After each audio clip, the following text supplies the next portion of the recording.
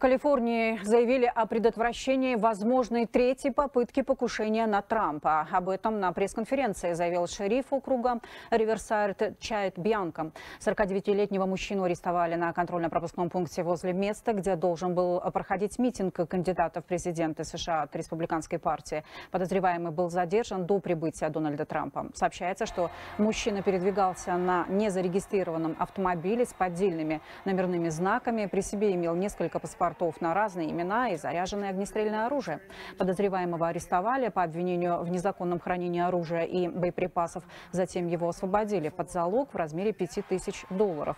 Слушание по делу назначено на 2 января следующего года.